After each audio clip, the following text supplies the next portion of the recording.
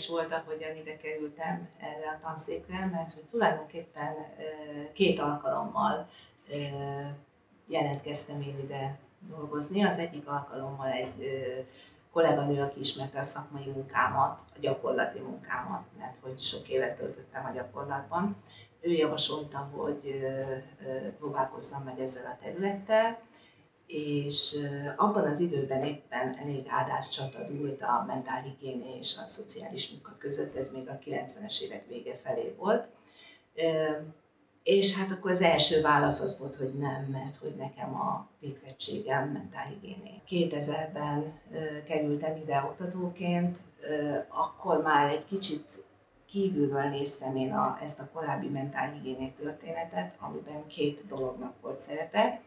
Az egyik a doktori iskola, a másik pedig az, hogy belekerültem egy ilyen közösségi megmozdulásba, amit egy iskola megmentéséért folytattunk, és akkor aztán a saját bőrömön tapasztaltam meg, hogy bizony a társadalmi kérdések azok nagyon élesbe tudnak fordulni a személyes szinten is, és onnantól kezdve tudatosan kerestem azokat a területeket, amik ezt a kettőt összekapcsolják. Szerintem a szociális munka erre kiváló, tehát a szociális munka az, amelyik tényleg ezek között, a szintek között teljesen szabadon tud közlekedni. Azt is gondoltam, hogy azokat a tudásokat, amik viszont nekem korábban a gyakorlatból megvannak, egészségügyben dolgoztam 7-8 évig, tanácsadással foglalkoztam elsősorban, illetve azokat az irányokat, amiket korszerűnek tekintenek a szociális munka gyakorlatában elsősorban külföldön, azokat megpróbálom ebbe a képzésbe bekapcsolni,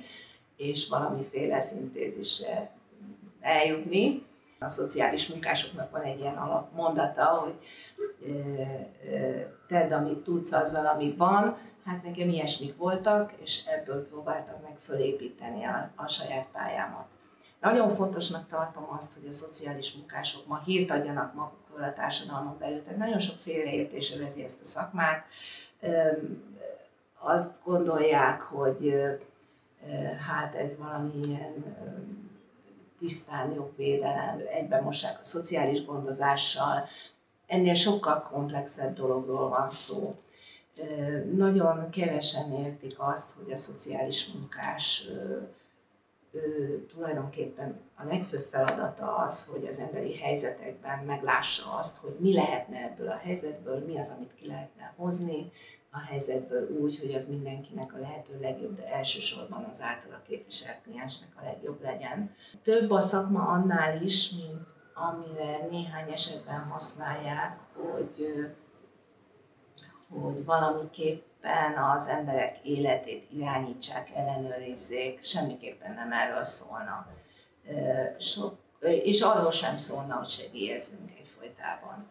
Sokkal inkább arról szól, hogy ha egy lehetetlen helyzetbe kerül valaki, olyan helyzetbe, ami, ami károsító, ami, ami megnyomorítja az életét, hogy abban egy azonnali segítségnyújtást követően próbáljuk meg olyan szintre eljutatni, ha csak lehet, amiben már ezekre a segítségekre nincs szükség. Tehát ezt sokan mondják, és én is szívesen elismétlem, hogy a szociális munkának furcsa mód az a célja, hogy, hogy ne legyen rá szükség. Az egész nagyon nagy mértékben szól a bátorításról, felfedezésről, a kreativitásról, és sokkal kevésbé szól arról, hogy, hogy valamiféle egyoldalú módon mindig csak adunk dolgokat, nem dolgokat adunk, kapcsolatot adunk, viszonyrendszert adunk, önértékelést adunk, önbecsülést adunk.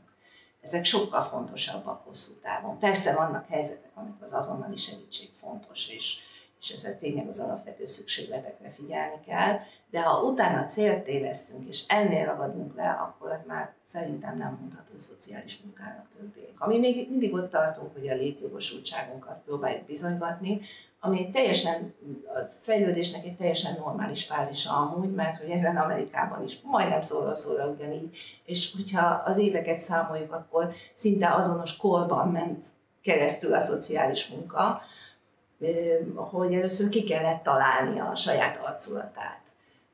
Ez véleményem szerint a szakmán belül ma már megvan, kifelé nem jól látszik. Tehát kifelé nem, nem látszik még elég jól Kifelé nem látszik azért, mert hogy a szaklapokat például nem olvassák azok, akiknek tudni kéne, hogy mire is jó a szociális munka. Nem olvassák persze a kliensek se, hogy mit is várhatnának tőlünk, illetve azért is, mert hogy a gyakorlatban nagy a szakember hiány, és a presztízse a pályának alacsony még, amit, amiért mi tudunk tenni, tehát hogy ez ne így maradjon. Tudunk kutatni, tudunk hírt adni magunkról, tudunk a nyilvánosság elé lépni. Szerintem most ért el a szakma a hazai fejlődésében arra pontra, hogy ezt meg kell tennie. És önmagáért kell megtennie, tehát nem ideológiákért, nem politikai irányzatokért, hanem önmagáért. A maga tiszta szakmaiságában kell megtennie. Ez egy igen kényes egyensúly. Ez egy nagy művészet, hogy tehát szoktak arról beszélni, hogy a pszichoterápiának megvan a maga művészete, hát ilyen alapon a szociális munkának is nagyon megvan a maga művészete, mert hogy a mi, mi művészetünk az, hogy kényes társadalmi helyzeteket nagyon kiegyensúlyozottan tudjunk kezelni, és úgy, hogy lehetőleg mindenki a legjobban jöjjön ki ezekből.